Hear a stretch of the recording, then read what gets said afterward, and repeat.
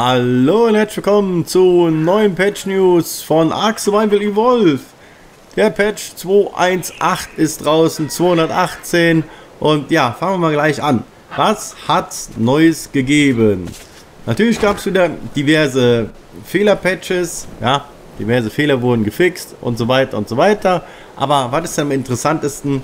Ich finde am interessantesten ist der neue Dino, der dazugekommen ist. Und das ist der, jetzt kommt der Zungenbrecher. Wie heißt der? Äh, Quetzalcoatlus. Quetzalcoatza. Ja, der Quetzalcoatza. Genau, so heißt der. Ja, der ist dazugekommen. Und äh, das ist ein riesen Flugsaurier. Also, er ist relativ groß. Äh, auf dem lässt sich auch so ein Sattel mit einer Plattform anbringen, wie auf dem Bronto. Ne? Und äh, den könnt ihr als Transportmittel benutzen. Da steht zum Massentransport von Menschen und Dinos geeignet. Ja, was das jetzt in, in, genau bedeutet, weiß ich nicht, wie, welche Tragkraft er hat. Ob ihr tatsächlich ein Mammut oder mehrere Mammuts da draufstellen könnt. Äh, könnt ihr bestimmt. Ist die Frage, was der für eine Tragkraft hat. Und der soll auf Bergen beheimatet sein. So, jetzt habe ich mir extra hier den Blitz vom Hummerlinchen ausgeliehen. Der ist echt flott unterwegs und ich bin auch schon den ganzen Tag rumgeflogen. Aber ich habe keinen von den Viechern gesehen. Tja, ich weiß nicht, wo er sein soll. Auf Bergen. Auf Bergspitzen beheimatet. Ja, ich bin auf einer Bergspitze. Chef. Und ich war schon auf vielen anderen Bergspitzen. Und nirgendwo kann ich den depperten Vogel finden. Das ärgert mich ein bisschen. Ich würde euch ja wenigstens gerne mal zeigen, wenn ich ihn schon nicht gezähmt habe. Das ist ein bisschen nervig. Ja, okay. Dann äh, ich fliege einfach mal weiter zum nächsten Berg. Dicke Wolke. Ja, der ist ziemlich flott unterwegs. Da sind wir flott da. Ähm, da kann ich euch noch die anderen Änderungen erzählen. So.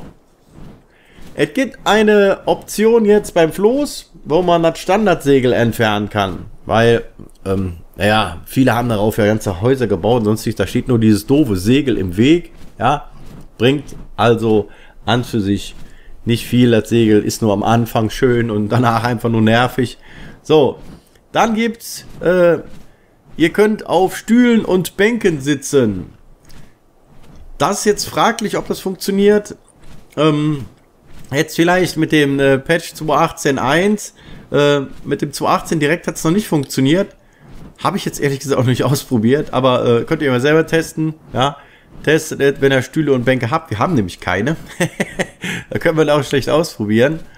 Okay, neueste Änderung. Aufzüge können nun abgeschlossen werden, mit einem PIN-Code versehen werden. Ja, ist ja auch gut, ne? Wenn man einen Aufzug für eine Base benutzt, dann äh, sollte man den auch abschließen können. So, jetzt gucken wir mal. Ja, das ist eine Bergspitze, Mann. Hier ist Nothing beheimatet. Eine große Aussichtsplattform. Schön, schön. Jetzt äh, ist ja wirklich ärgerlich. Aber ist nichts zu machen. Schnappen uns jetzt noch die nächstgrößere... Oh.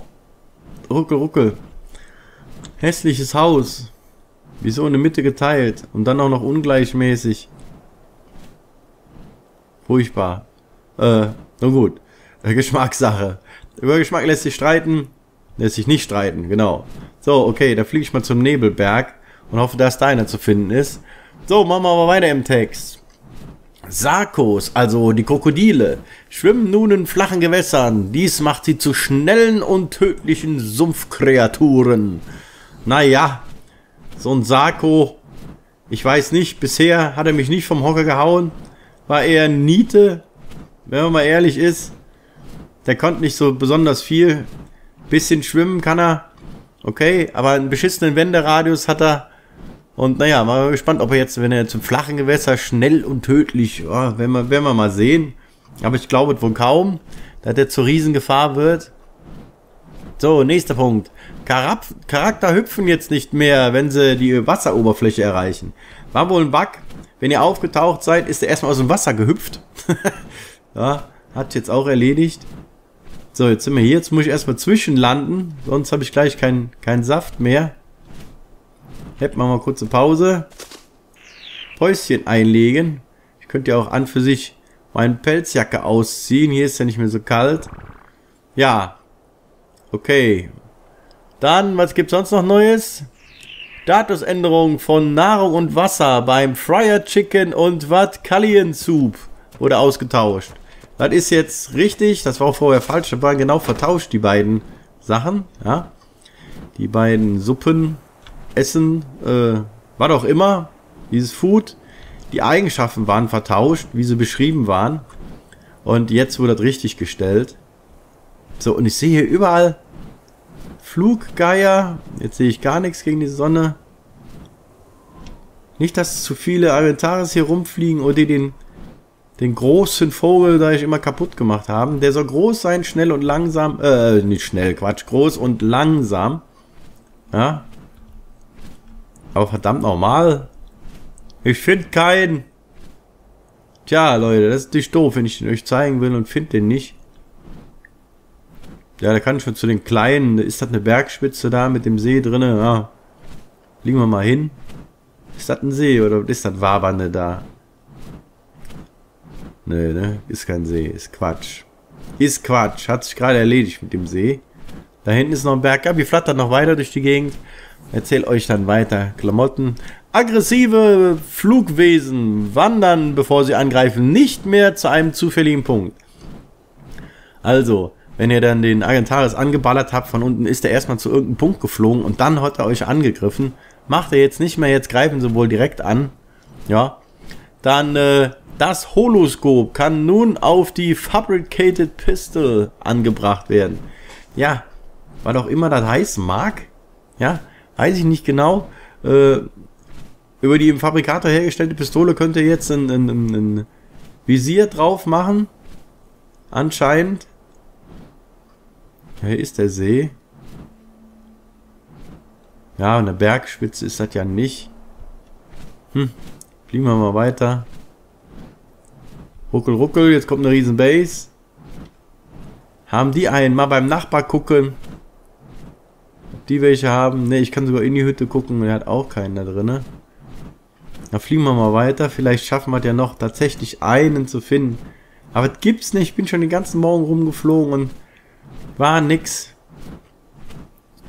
Naja, nützt alle nix. So, und äh, Spieler- und Dino-Level wurde zusätzlich um 3 erhöht. So, das waren die gröbsten Änderungen. Äh, was ich noch gefunden habe, dieser Riesenaffe, mega nigger noch irgendwas, der King Kong, sag ich mal, in weiß, sollte ja auch wieder, ähm, sollte jetzt auch Endgegner sein, quasi, ja, wie die Brutmutter. Deswegen steht ja auch im Patch. Aber haben sie wohl wieder rausgenommen? Weiß nicht. Ach, guck mal. In Alpha. Hallo. Nein, nein, nein. Nein, nein, du nicht den schönen Blitz kaputt machen. Dann Humalinchen sehr böse. Level 198 Flugsaurier. Das ist Aua, wenn der kaputt geht. Das machen wir nicht. Das war viel Arbeit. Sonst kriege ich Mecker. Und zwar mit Recht. so, Server Performance wurde um 15% erhöht und das Rubberbanding, flackele Kamera auf Sattelplattformen wurde reduziert. Dann noch ein paar Server-Dinger, aber die interessieren ja die wenigsten von euch. Könnt ihr selber nachlesen. Edge. So. Dann äh, gibt es noch was Neues. Ja, heute Mittag um 14 Uhr zeige ich euch ein noch ein Arc-Video zum Thema Tribe Wars. Hier Chris Play. Werdet ihr dann genauer sehen. Was ich dazu anmerken will, in dem Video sag ich, ich habe das schon gedreht, warum habe ich noch nicht reingestellt? Kann ich direkt sagen, weil ich mit dem Chris das gleichzeitig reinstellen wollte und er hat halt gesagt, hier 14 Uhr. Und äh, dann machen wir das doch so wie vereinbart, ne? Jawohl, ich halte mich an die Befehle. nee, das macht man nur. Ne? Also gleichzeitig veröffentlichen. So, äh, da kommt ein Video auf, auf euch zu und ähm, das ist hochinteressant. Es geht auch um einen PvP-Server, was der so auf die Beine gestellt hat. Ja, kann ich euch nur zu raten. Und äh, in dem Video sag ich, dass wir da nicht dran teilnehmen werden. Und äh, ich habe mich in der Zwischenzeit mit dem Rest von unserer Helmlingsbande kurz geschlossen und sage, jawohl, wir nehmen dann doch daran teil. Das bedeutet, demnächst wieder, demnächst, bald sofort quasi täglich neue Arc-Videos. Wir fangen auf dem PvP-Server neu an. Wir werden da mitkämpfen, mitfighten, eine neue Base aus dem Boden stampfen, müssen neu anfangen zu leveln, logisch. Und ja, das wird höchsten Maße interessant. Endlich PvP. Da freue ich mich drauf.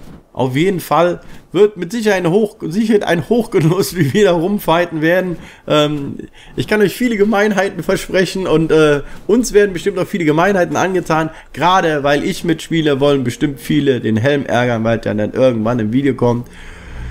Ja, dem kann ich euch jetzt schon mal sagen, wird nicht so sein. Ich werde nicht die Leute belohnen und immer alles zeigen, was sie kaputt gemacht haben. Ne? Sonst äh, ist das ja dauerhaft so.